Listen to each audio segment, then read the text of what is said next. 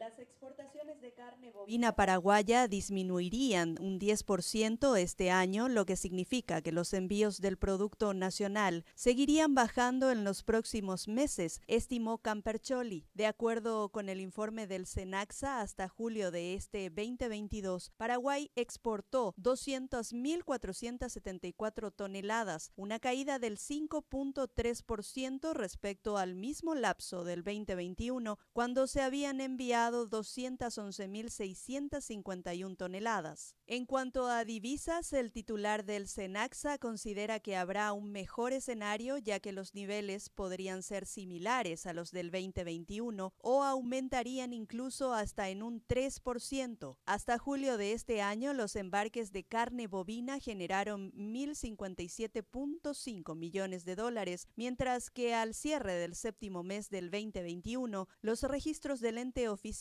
indican que ingresaron al país 988 millones de dólares, es decir, una suba del 7%. Así también, entre enero y julio, la cotización internacional de la proteína roja nacional subió en un 13%, pues la carne paraguaya fue comercializada a 5.275 dólares por tonelada. Creo que en los meses que restan de este año veremos una menor exportación todavía, porque básicamente sigue el truco ganadero estacional, afirmó Campercholi durante una entrevista. Al cierre del 2021, Paraguay exportó 326.698 toneladas por más de 1.500 millones de dólares, un aumento del 43% en ingresos y 20.5% en volumen respecto a los envíos de 271.130 toneladas que se registraron en el 2020 por un valor de